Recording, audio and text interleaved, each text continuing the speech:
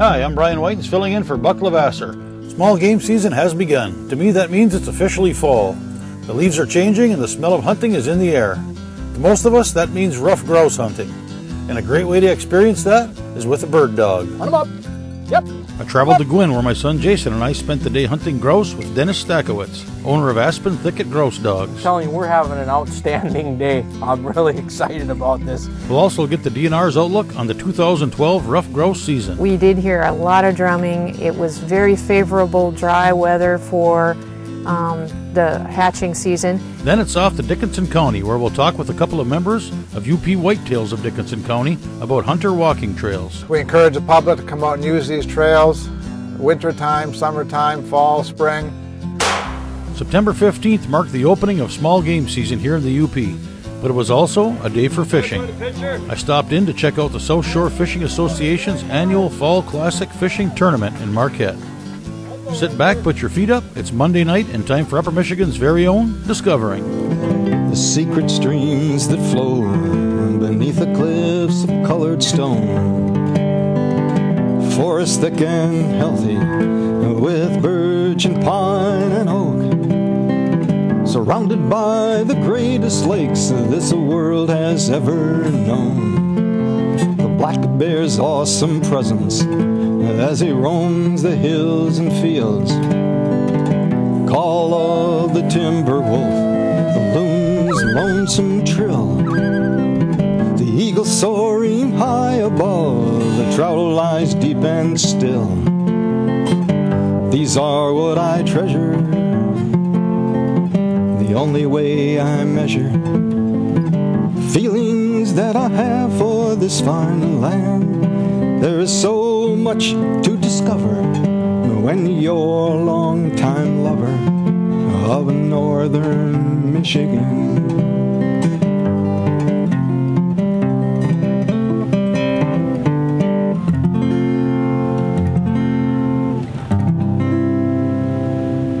Today's show is brought to you by Hiawatha Log Homes, building dreams one home at a time, and Wendricks Truss, keeping the UP covered since 1975.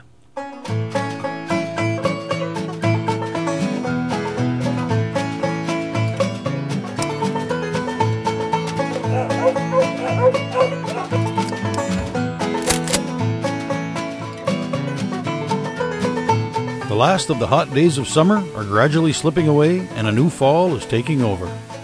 It's time to fire up the wood stove and dig out the Carhartts. The woods is still mostly green, but evidence of the upcoming season shows up more and more each day. The air is sweet with the unmistakable smell of popple and maple.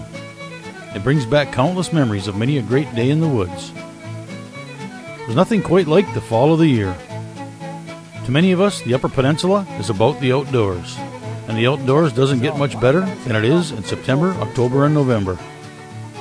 My son Jason and I had the opportunity to spend a day hunting grouse with Dennis Stachowicz of Aspen Thicket Grouse Dogs in Gwinn. So some of the equipment that I use for hunting, and this is, you know, in particular, we use pointing dogs, and they tend to run a little bit bigger. And by run big, I mean you could have a dog that could be 80 to 100 yards out in the grouse woods, and when they're out that far, um, you want to be able to keep track of them. So I like to put a put a bell on the dogs, a big bell that you can hear. Um, and then when the dog stops and goes on point, of course, the bell stops. And then I have a, a beeper. And basically, when the dog stops, then this thing starts beeping. It helps you find the dog. And then back to this GPS collar, I run a GPS collar on them because there are times when a big running dog can get out there, you know, with the woods up here, with wolves and everything else we have now. You want to do the best you can to, you know, respect your dogs and, and make it a safe hunt for everyone involved.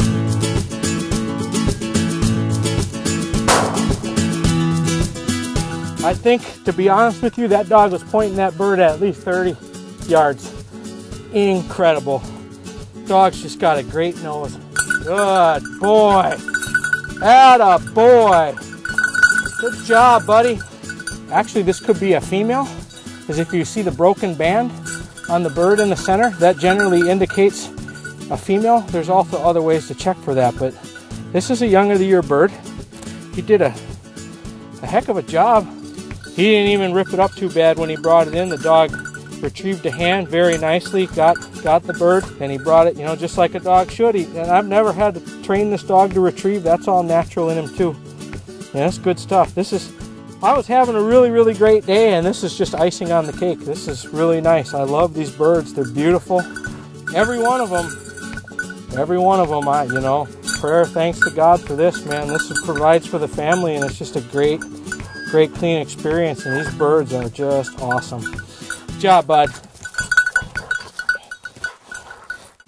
Have you been dreaming of owning a log home, cottage, or camp? We are Hiawatha Log Homes, proudly serving the UP and satisfied customers since 1983. Our in house staff of professionals are ready to help you create the perfect log home plan. Visit our website or stop by our model home and meet our staff. From cottages to castles, we can custom design to your specific needs. Hiawatha Log Homes, building dreams one home at a time.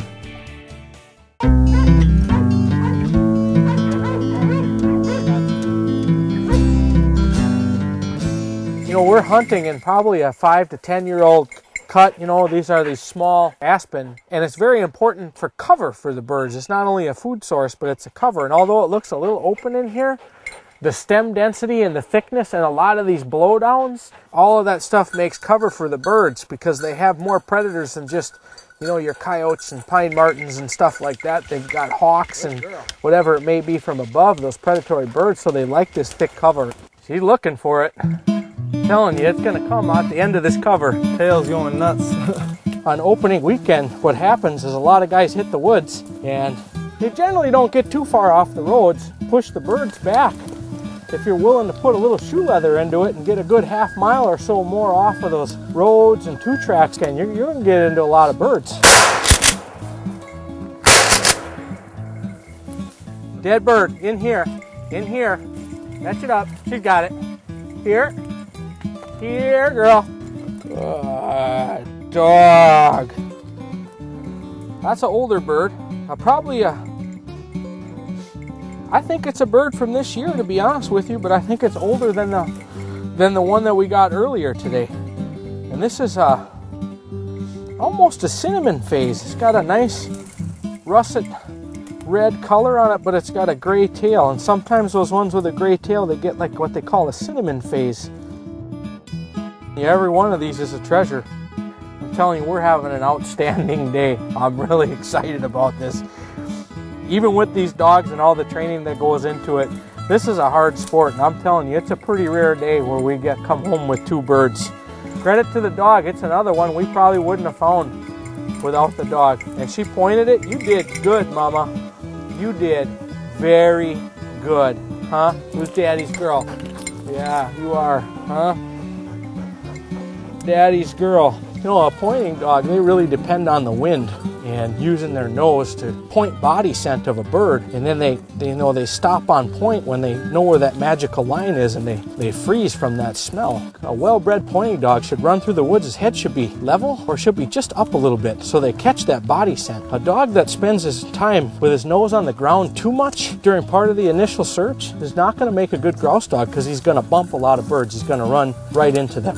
The next dog I'm getting out is just a six month old puppy, and hopefully, what we're going to see from her and what I've seen so far is a lot of natural ability. Typically, when they're this young, they they operate, you know, basic on their genetics without any bad habits developed. You know, we're going to see a dog that's going to be really fired up, running around. Probably point some birds, only hold them for a couple seconds. Hopefully, if we can get up to her, we can shoot some.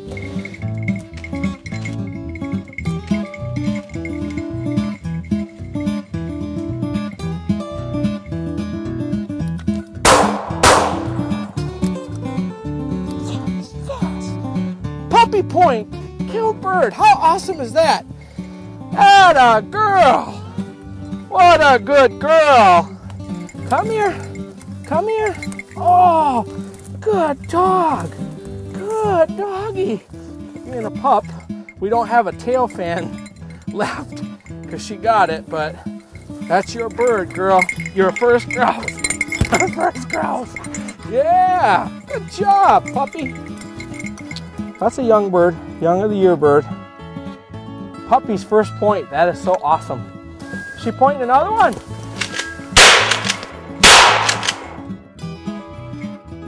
Get it? Yep.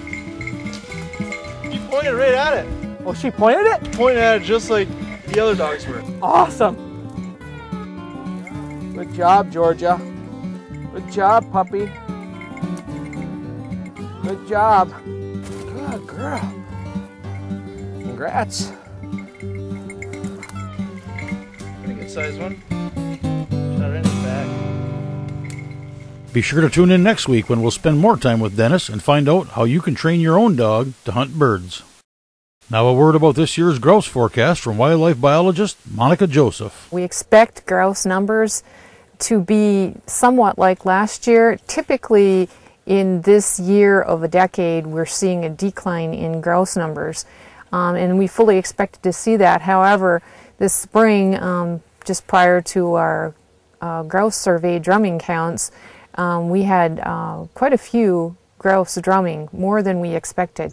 That uh, didn't prove itself out in the survey. Uh, numbers had dropped a bit by then, but we did hear a lot of drumming. It was very favorable dry weather for um, the hatching season, and so we did bring off some pretty good sized broods.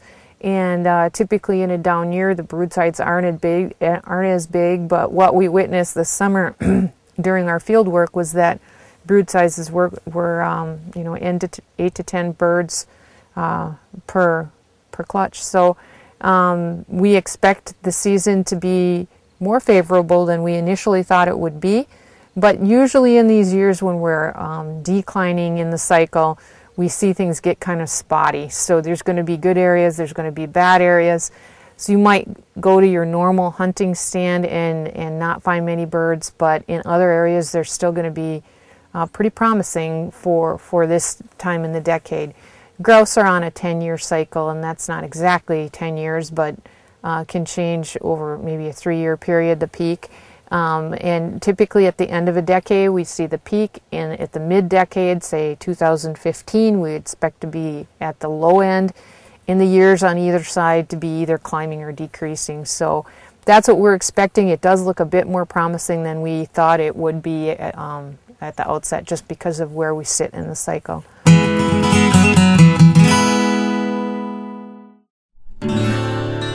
The art of taxidermy is the passion of North Country legends. Borrowing on decades of experience from some of the most accomplished wildlife artists in the country, each mount delivers award winning quality and lifelike realism.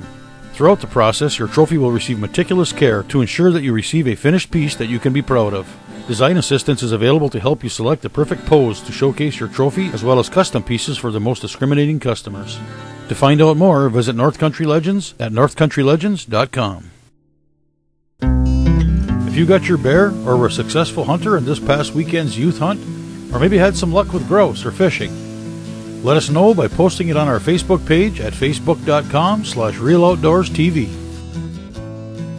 The UP is home to a wide variety of organizations, from local sportsmen's clubs to larger UP-wide groups dedicated to preserving and improving the quality of hunting and fishing for all to enjoy. Much of this has been accomplished through projects ranging from improving wildlife habitat to preserving our lakes and streams. One such project, a joint venture between the Michigan DNR and UP Whitetails, is Dickinson County's Hunter Walking Trails. I spoke with a couple members from the UP Whitetails Association of Dickinson County, as well as a representative from the DNR to find out more. We were looking for projects.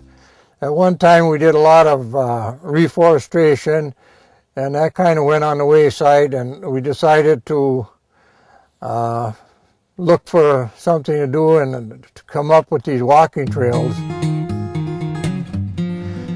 What is really good about them that I think is that if you have a youngster that you want to introduce to hunting, they can walk these trails without fear of seeing a car or a vehicle on a, on a logging road someplace. They're easy to walk. We just like to get these kids out where they can see game. If they don't see any game, they're going to lose interest fast. Uh, we put them in conjunction with the DNR. Um, they contracted out to have a contractor come in and cut them, bulldoze them, level them, and then we come in as whitetails. We seed them, cut them once a year. We have quite a bit of clover in here, so to try and improve the wildlife habitat for the deer, the rabbits, the snowshoe hares, the turkeys, the partridge.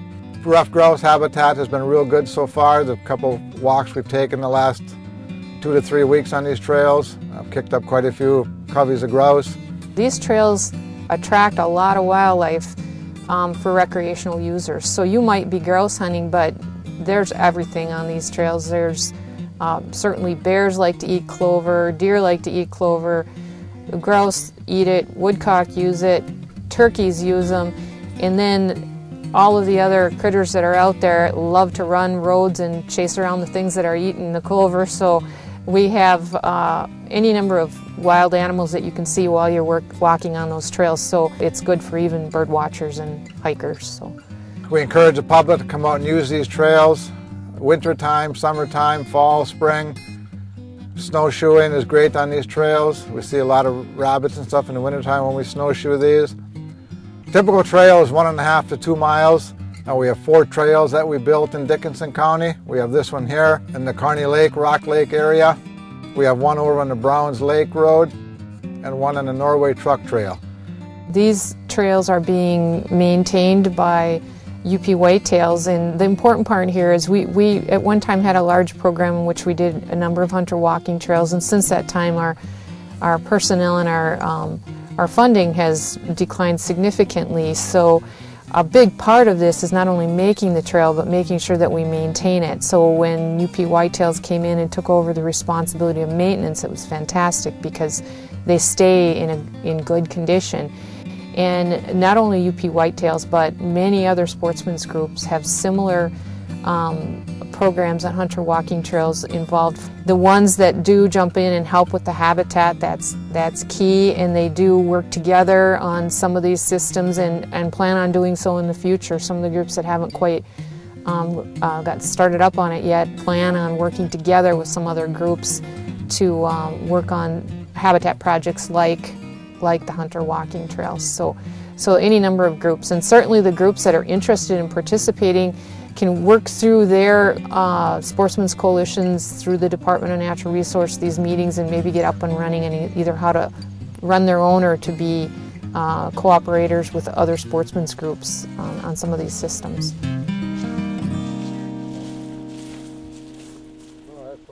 Don't miss the Woodtick Music Festival in Hermansville, Michigan. Four days of great bluegrass, country, folk, blues, and rock and roll. Over 25 bands. Fun for the entire family. Carry-ins welcome. Kids 12 and under free. Buy your tickets and campsites and find out everything you need to know online at woodtickfestival.com. That's woodtickfestival.com. The Woodtick Music Festival in Hermansville, Michigan. This portion of today's show brought to you by Superior Welding and Manufacturing, a proud supporter of the outdoors. September 15th marked the opening of small game season here in the UP, but it was also a day for fishing. I stopped in to check out the South Shore Fishing Association's annual Fall Classic Fishing Tournament in Marquette.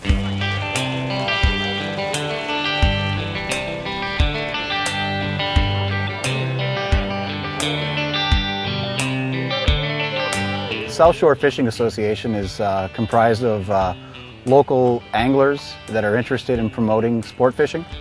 Um, we've been in existence for about 10 years and uh, we hold two tournaments per year. Uh, we have a spring shootout and this is the Fall Classic that you're at today. The Fall Classic tournament usually takes place about the second, uh, second week of September. The, um, the spring shootout takes place in May. The Fall Classic Tournament has uh, been held for the, the, 10 years of the association's existence. And uh, this year we had uh, 41 boats enter, and uh, that's a little bit less than normal, but uh, we had a postponement from uh, the weather delay last weekend, but we still had a real good turnout today. The Fall Classic basically has four categories. We have catch and keep trout, catch and keep salmon, as well as live release trout and live release salmon and we like to promote the, the live release. And so uh, we, we have a, a, fish tank set up where we bring the fish inshore and uh, put them in the, in the aerated uh, tank. 3.94! And uh, to try and make sure that they can be returned back to the water. 6.69! 3.42! Most of the teams in the fall tournament uh, end up fishing uh, pretty close to shore. Uh, they're kind of interested in the salmon, and uh, throughout the day, I think they kind of disperse and uh, start going out looking for lake trout. Most of the teams are from uh, the Marquette area, but we certainly welcome all teams from uh, from anywhere to, to join us. And we, we do have a few teams that come from out of town. 7.53. Um, Crystal Falls area, Munising. Uh, the Fall Classic Tournament, we basically pay out a first, second, and third place in each of the four categories. And we also have a wild card prize, which is the combination of your two biggest fish from any two species. The boats are going to come in uh, single file, and each one will uh, have to come up to shore. And uh, one person from each boat will come ashore with, with a, their cooler of fish. Uh, boats who have uh, live fish to release will take precedent over boats that are bringing in uh, catch and keep trout and salmon.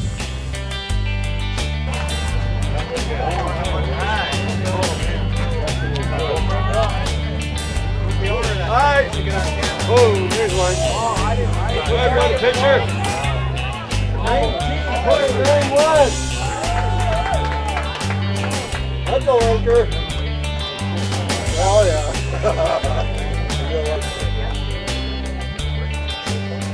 we got some tonnage here. 9.14. 19.01.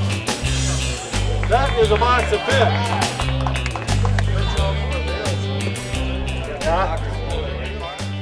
One of the other things that South Shore prides itself in is um, we participate in a net penning project of king salmon uh, each spring with the uh, DNR. And uh, few organizations um, actually net pen fish, but we've, we've really tried to work with the DNR to um, develop net penning of, of, king salmon to promote um, the king salmon fishery in Lake Superior. Uh, we're also uh, looking for ways to bring youth, in, keep youth interested in sport fishing. And we uh, take part in a Big Brothers Big Sisters fishing tournament, which we just held uh, within the last month.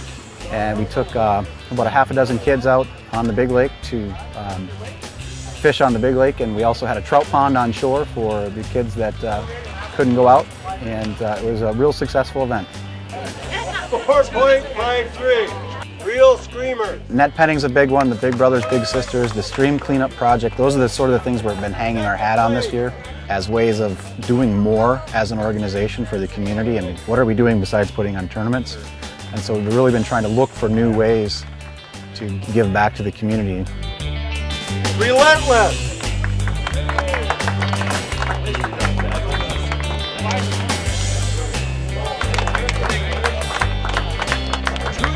Thousand five hundred dollars. Take three. Well, that's it for today. Thanks for watching, and I'll see you next Monday night, right here on Upper Michigan's very own Discovering.